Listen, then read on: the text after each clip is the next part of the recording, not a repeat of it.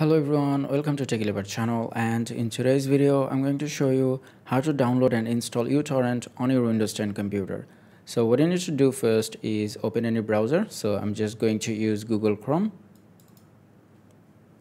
and then in the address bar search for download uTorrent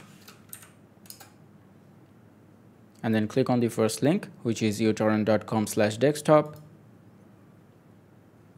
from here, click on free download for Windows. And as you can see here, uTorrent is being downloaded. Okay, now that the file has been downloaded, let's go ahead and click on it. Now click on yes. At this point, I'm just going to minimize the browser. Now click on next. Then again next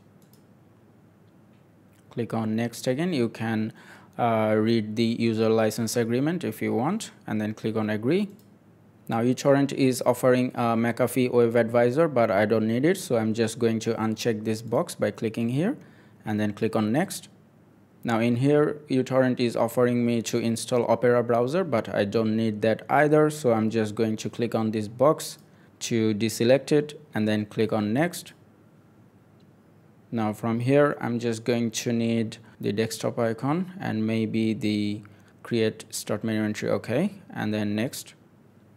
Now in here I'm going to keep this one selected add an exception for uTorrent in Windows Firewall but I'm going to deselect this one which is start uTorrent in Windows Startup because I don't want uTorrent to start when I boot off my computer and I'm going to keep all this selected and then click on next Okay, as you can see, uTorrent just has been installed and if we click on finish while this box is checked, uTorrent is going to launch.